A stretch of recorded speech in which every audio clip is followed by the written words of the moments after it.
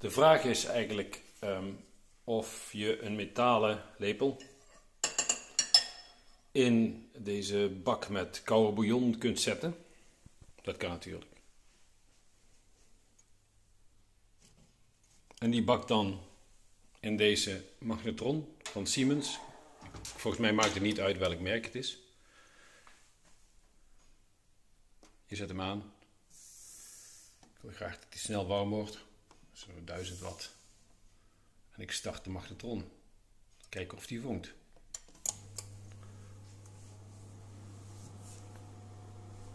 Beetje lastig te zien door de reflectie. Maar je kunt volgens mij wel zien dat de lepel niet vonkt.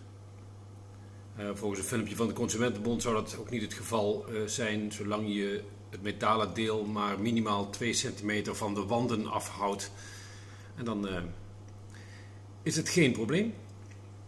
Voor dit filmpje zet ik hem even stop. Stop. Kom even open. Kijken hoe het met mijn lepel is. Of die, nou, die is gewoon uh, op kamertemperatuur. En de, ja, het, het, de bouillon is inderdaad warm. Klik het even af. Dus dat werkt. Uh, misschien heb je er iets aan.